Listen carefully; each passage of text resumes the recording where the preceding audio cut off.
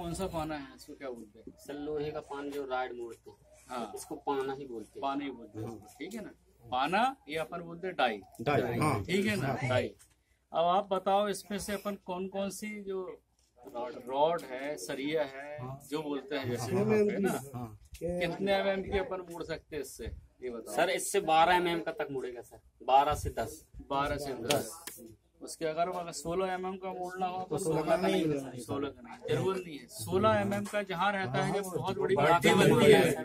तो उस पर पूरा कॉलम बीम का जाता है सोलह एम एम सोलह ठीक है। हाँ?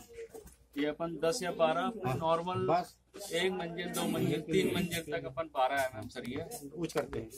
यूज़ करते हैं। आप ये उठाओ इसको क्या बोलते हैं? इसको उठाओ इसको क्या बोलेंगे? सर केड़ी बोलते हैं केड़ी। हाँ। और इसको वैसे बोला जाता है हुक हुक हुक हुक ठीक है ना हाँ। हुक ही। बोलते हैं।